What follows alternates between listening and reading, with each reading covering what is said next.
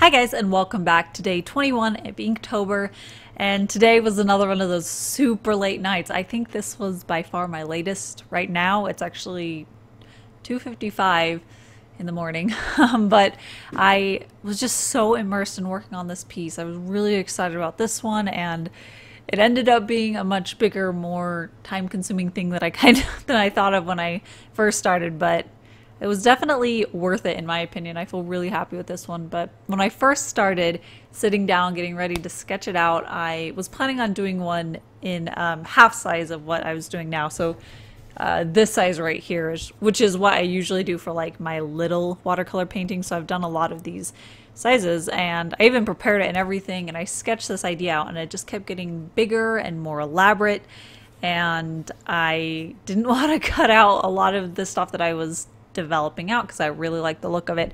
So I decided to bump up to the next size, or it's basically double this. It's not broken down into half.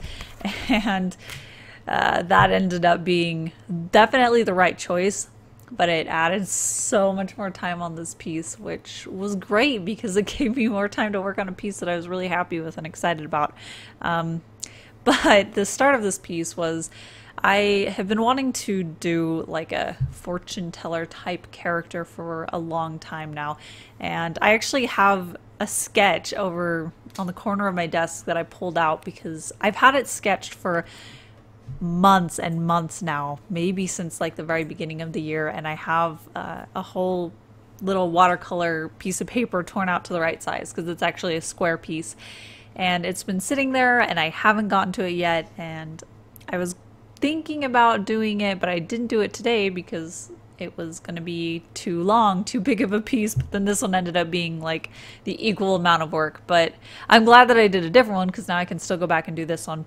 But the point is, is that I was kind of thinking about fortune tellers and I liked that idea of that kind of a character. And I wanted to do one of those today when I started sketching. So I just searched that in Pinterest and that's actually a really cool search because it brought up a lot of very different stuff. I got a lot of like uh, makeups for like a costume of being a fortune teller. So there's really dramatic looks that was really inspiring. And I found uh, vintage photographs of people in kind of this fortune tellery kind of clothing and look. I found jewelry that was really cool. And uh, I also found those like machines where it's like you put in a quarter and there's like an autom- automaton giving you your fortune. Anyways, there was just this huge array of really inspiring images that I could work off of, and that's what really got me very excited about including these different elements and different ideas. So it was a really uh, fruitful search, I think, and it was one of those terms that just got my ideas really rolling. I love I love um, these these themes like a fortune teller. These very um, I don't know how to describe it. Where it's it's almost this creepy, subdued magic to it, where it's very unknowable and mysterious, but almost something that you could see being real in a real world. But that that stuff is just really cool to me. So this was a really fun one to start jumping off from. And when I started working on this, like after I'd sketched out and I was about to start inking, I got a little bit nervous because I have never inked this way before because when I'm inking on top of a, a light box, so far I've only used micron pens or like brush pens at the most. And those just feel a lot more controllable for me at least and something that I can build up more. So when I was starting to do the light box, it felt a little bit nerve wracking because I wasn't really sure if it would work quite the way that I was used to. And I know that basically it's the same concept, but for a second there, I was, was kind of nervous that I wouldn't be able to see the lines well enough for me to be able to confidently put down these strokes. But it turned out to actually be pretty good. I didn't have any issues that I was thinking about. So it turned out to be something that I'll definitely do more of in the future. Um, obviously, I really enjoy doing brushwork for the line work, so this is definitely something that I needed to learn and get used to. But um, yeah, when I was starting to do the line work, I don't normally, like, I normally don't ever think about, oh no, what if I mess this up. I just I dive into it and when things happen, I find a way to deal with it and make it work. But when I started doing the line work, it hit me that I was like, oh no, what if I mess up? I've messed up a lot of times on a lot of different pieces in Inktober, and I would be so sad if I messed up on this one. And it gave me this like stage fright almost. I was nervous to start because I didn't want to mess it up, and it was a really weird feeling. And I was like, no, if I keep trying to ink while I'm being super nervous and super like tight and scared to put down these lines that might be slightly off, then it's going to look worse than if I just loosen up and let it be what it was. So I had to take a minute to like remind myself that it's okay if I mess it up. I will find a way to fix it and I probably won't knock the ink over. I was like having that flash in my head about, oh no, what if I knock the ink over? I need to be super careful and yeah, so I think I just kind of got into my own head for a second there. It was a little weird, but but I was able to reconnect with what I actually wanted to do and to loosen up on that. And when I started out doing ink washes, you know, several days past in Inktober, a lot of days past actually, um, I usually would let the um, layer of ink wash before dry as much as it could until I needed to paint next to it, and then I would dry it with the heat gun, the the heat tool that I have. But lately, I've been drying it right away. And the reason that I prefer to do that now is because the ink wash dries so much lighter. That way I can immediately tell how to adjust it and how it's going to contrast with areas around it. Plus it's just easier to keep moving forward and being able to work on the next step that I need to when it's completely dry. So I do make sure that I dry it all the way. Also, um, if you're working in watercolor or ink wash, uh, one thing to remember is you only work on it if it's either sopping wet or bone dry. Don't eh, don't mess with it when it's like in between because that'll mess up your nice smooth washes if that's the look you're going for. But yeah, so I, I made sure that I was drying them nice and quick and I can move on. And one thing that's kind of funny that I was noticing is that the ink not only dries lighter, but it also dries cooler, I think. I'm trying to remember which way it was. I was noticing is that as it's wet, it looks one temperature, and when it dries, it kind of cools. Yeah, I think it it dries into a much cooler gray tone, which I thought was kind of funny because when I first put a wash down, it looks like the temperatures are kind of fighting and they're not a grayscale within the same spectrum, but as they dry, they turn into the same. So. And I definitely wanted to make sure that I had the values arranged in the way that I wanted to, which is always very important, especially always.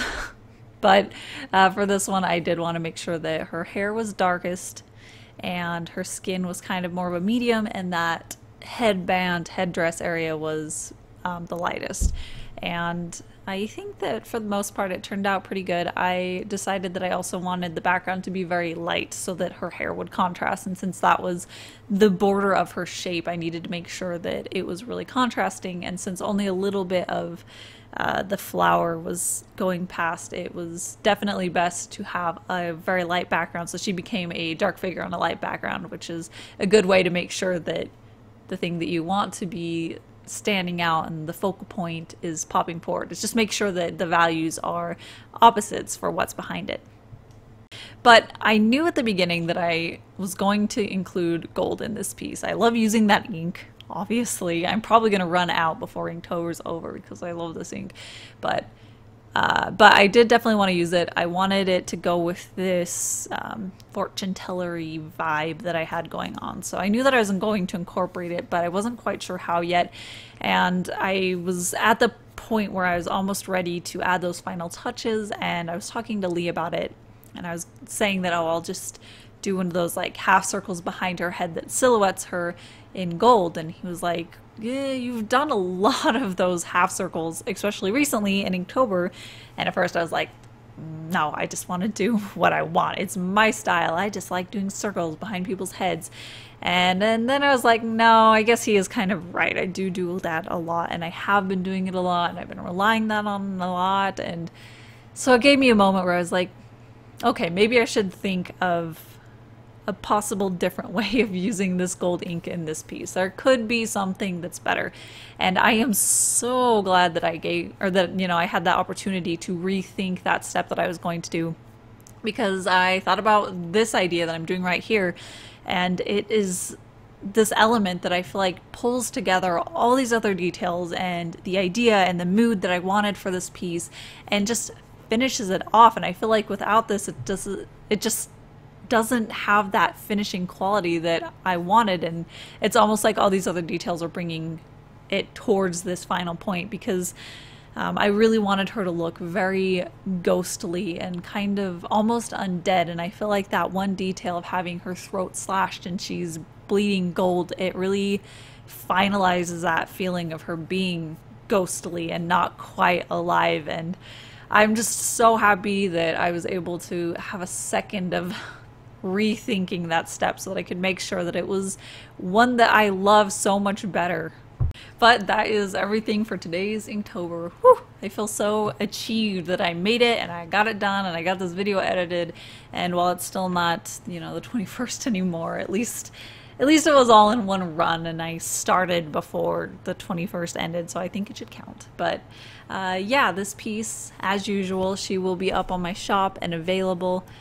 And yeah, I think this is probably this is definitely my favorite piece of Inktober so far. I just feel like this is definitely putting me in the right direction, giving me ideas for future ones that I want to do more of this theme and more of this idea and really explore that more. So I'm ugh, I'm really happy with today's Inktober. I feel really productive and very tired obviously but anyways uh, thank you so much for watching and I will see you guys tomorrow for the next Inktober so yeah. Oh, and also the link for my shop is at the very bottom in the corner of this video. So if you want to check out her and check out all the other stuff that I have available, you can check that out there. Anyways, uh, thanks again, and I'll see you tomorrow.